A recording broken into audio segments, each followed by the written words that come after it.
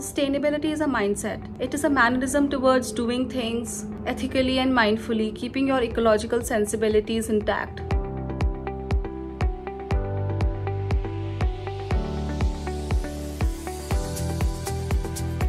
Hi guys, my name is Nancy and I'm gonna be your mentor for fashion and sustainability. Fashion is ever changing and it also makes it one of the most pollution generating industries in the world thousands and millions and tons of fabrics is wasted and goes into landfills. We are just paying blind eye to it. It's high time because we have only been taking away from Mother Earth without thinking that we also need to give it back.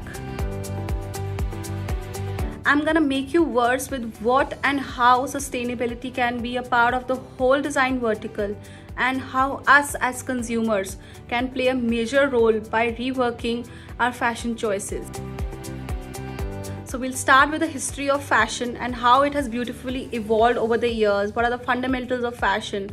How you can create a mood board, a portfolio. And we'll also be discussing all the certifications, all the practices that you need to be acclaimed as a sustainable brand. We'll also be discussing the technical parts of fashion like the quality checks, production, sampling. Every choice makes a huge difference and how after learning a story behind every garment you wear you're gonna understand the magic behind it. So i'm very happy and very excited to join you all. Happy to see you there